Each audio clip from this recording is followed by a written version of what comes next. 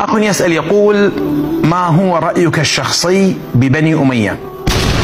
رأيك الشخصي كونك حسيني النسب وليس رأي السنة أو الشيعة. تمام. طيب أخي الكريم ما رأيك أن أترك رأيي الشخصي ورأي السنة ورأي الشيعة؟ ولنرى رأي رسول الله صلى الله عليه وسلم ورأي أهل بيته. النبي صلى الله عليه وسلم وأهل البيت لنرى ما هو رأيهم. في البداية أتعلم من هم بنو أمية؟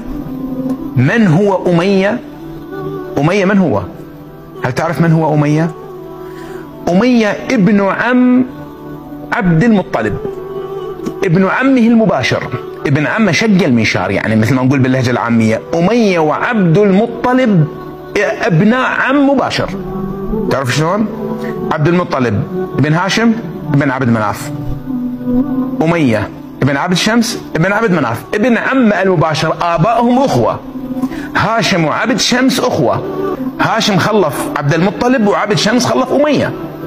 فهم أبناء أعمام بني هاشم المباشر. هذا أولا. ثانيا نجي على رأي النبي صلى الله عليه وسلم ورأي سيدنا علي بن أمية. إخوان إذا حصلت مشكلة بين اثنين لا يحق لك أن تتهم بيتا كاملا. عندك مشكلة مع شخص اذكر هذا الشخص.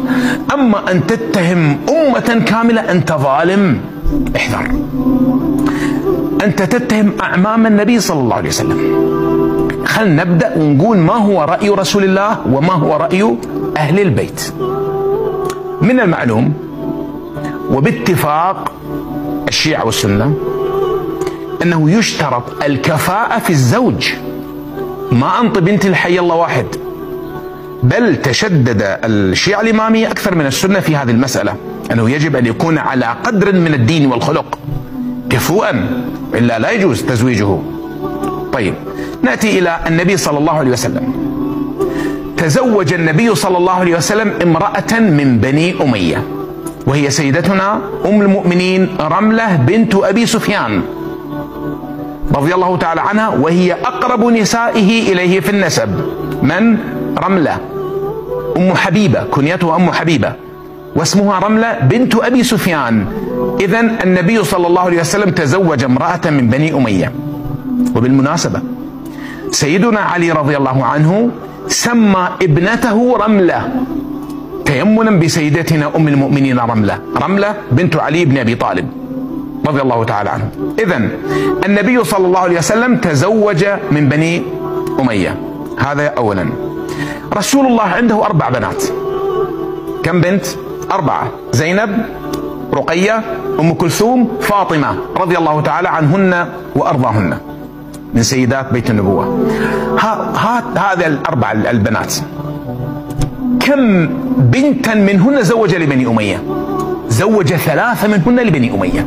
يا أخي أعمامه. زوج ثلاثة منهن لبني أمية.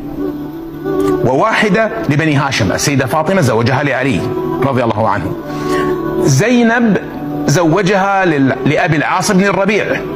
هو ابن خالتها. طبعا أمه هالة بنت خويلد أخت السيدة خديجة هي ابنه خالتها ولكن أباهم بني أمية فهو أموي الذي تزوج زينب. وأم كلثوم ورقية تزوجهما عثمان بن عفان رضي الله تعالى عنه وهو أيضا من بني أمية. عثمان بن عفان بن العاص بن أمية. فهو ثلاثة من أربعة زوجهن رسول الله لبني أمية. هذا بالنسبة للنبي صلى الله عليه وسلم. تزوج منهم وزوجهم بناته. نأتي إلى علي رضي الله تعالى عنه. علي تزوج أميمة بنت أبي العاص ابن الربيع. يعني أميمة بنت زينب حفيدة النبي صلى الله عليه وسلم. أمها زينب وأبوها أبو العاص ابن الربيع. من؟ سيدنا علي تزوج أميمة بنت أبي العاص وهي أموية. إذا سيدنا علي تزوج امرأة من بني أمية. طيب رملة بنت علي بن أبي طالب. من الذي تزوجها؟ لمن زوجها علي؟ تزوجها معاوية بن مروان بن الحكم. طبعا بعد وفاة سيدنا علي لكن إخوانه موجودون. تزوجها معاوية ابن مروان بن الحكم. تزوج رملة بنت علي. طيب خديجة بنت علي بن أبي طالب رضي الله تعالى عنها. من الذي تزوجها؟ عبد الرحمن بن عامر ابن كريز وهو من بني أمية. طيب سيدنا الحسين بن علي رضي الله عنه الحسين الشهيد. قال الشيخ عباس القمي وهو من كبار أئمة المذهب الشيعي الاثني عشري عنده كتاب اسمه منتهى الآمال يقول فيه يقول من زوجات الحسين ليلى بنت أبي مرة ابن عروة ابن مسعود الثقفية بني ثقيف وأمها ميمونة بنت أبي سفيان من هي؟ أم زوجة الحسين وهي أم علي الأكبر ابن الحسين فيكون علي الأكبر هاشميا من جهة أبيه ثقفيا أمويا من جهة أمه هذا كلام من؟ كلام ال في المذهب الشيعي الاثني عشري طيب. فاطمة بنت الحسين رضي الله تعالى عنها. فاطمة بنت الحسين الشهيد. من الذي تزوجها؟ عبد الله بن عمرو بن عثمان بن عفان. بنت الحسين فاطمة بنت الحسين تزوجها حفيد عثمان بن عفان. أموي. هذا بالنسبة للجيل الأول. النبي صلى الله عليه وسلم وعلي والحسين. تعال إلى الجيل الثاني. زينب بنت الحسن المثنى ابن الحسن السبط رضي الله تعالى عنها. زينب بنت الحسن بن الحسن. الحسن سبط النبي صلى الله عليه وسلم الحسن بن علي. عنده ابنه أيضا اسمه الحسن يلقب بالحسن المثنى يعني الثاني. عنده بنت اسمها زينب. من الذي تزوجها؟ الخليفة الوليد بن عبد الملك بن مروان الأموي. والوليد بن عبد الملك تزوج بامرأة أخرى من أهل البيت نفيسة بنت زيد بن الحسن بن علي بن أبي طالب رضي الله عنه. من الجيل الثاني أيضا أم أبيها يعني بنت عبد الله بن جعفر الطيار. جعفر الطيار رضي الله عنه عنده بنت اسمها عنده ابن اسمه عبد الله عبد الله بن جعفر. عنده بنت اسمها أم أبيها.